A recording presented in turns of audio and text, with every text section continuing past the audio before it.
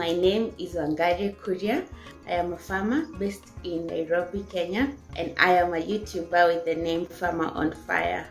We like to change people's perception of how they look at farming to see it as a career and as a way of making money. I've been doing agriculture all my life. I am a village girl, but I never saw money change hands, which means I never saw farming as lucrative in Africa, we have a lot of youths who are unemployed, and yet farming is a low entry level that I would encourage everyone to get into.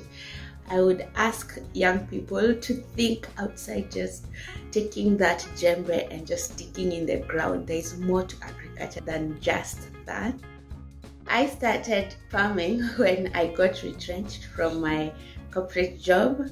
I also started doing small films for my friends who wanted to know how to plant vegetables. I'm big on education, even when I'm planting something, I'm not planting it for myself, I'm not planting to sell it, I'm planting to also share that journey with other people. I like to tell people about the better practices in farming I like to expose them to new opportunity that they might not have been aware.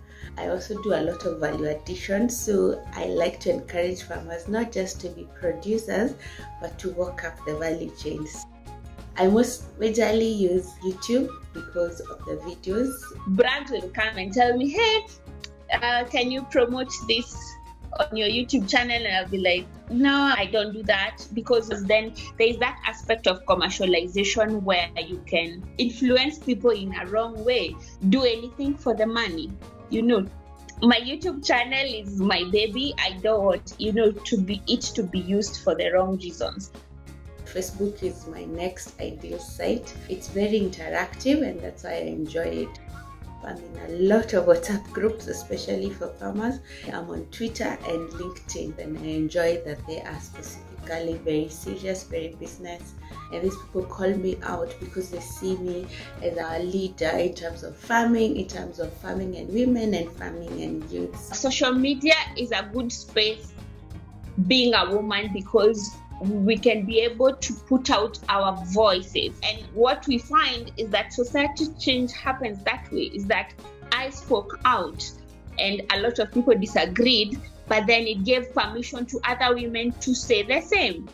And then eventually society comes and normalizes it, and now it becomes normal. I'm a feminist in love with social media because of that but there is a lot of abuse online because people will never meet the people who are saying those mean things.